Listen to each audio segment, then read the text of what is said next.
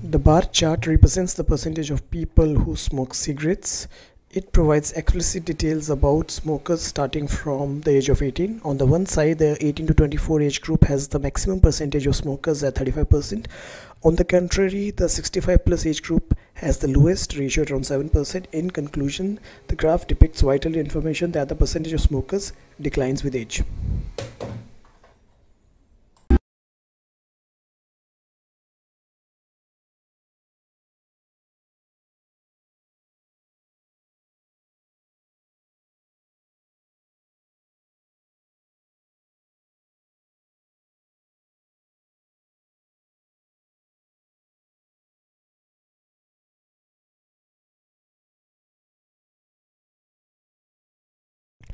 The line graph represents the platinum sales in Abu Dhabi in millions of dirhams.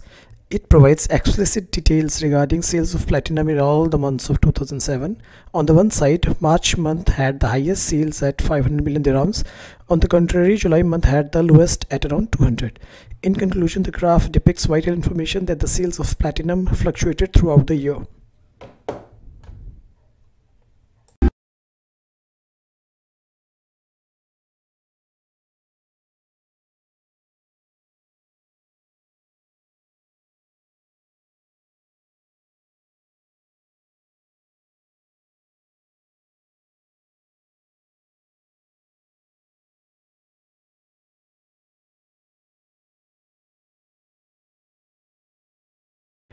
The table chart represents the statistics of family expenses in Tokyo. It provides explicit details regarding expenses in percentage on various categories in 1980, 1990 and 2000. On the one side, the highest expenditure was on food in all the years. On the contrary, the spending on recreation was the least. In conclusion, the graph depicts vital information that the funds utilized on food and clothing declined with time and on other categories inclined.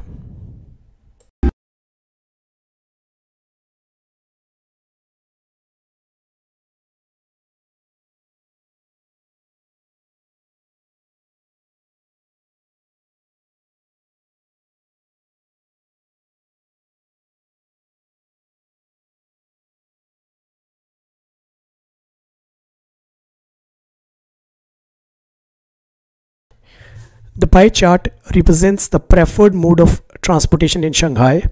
It provides explicit details regarding different commuting ways such as metro, car, bike and local bus.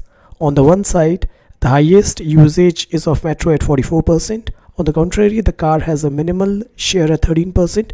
In conclusion, the graph shows that the percentage of people traveling via local bus and bike is almost equal.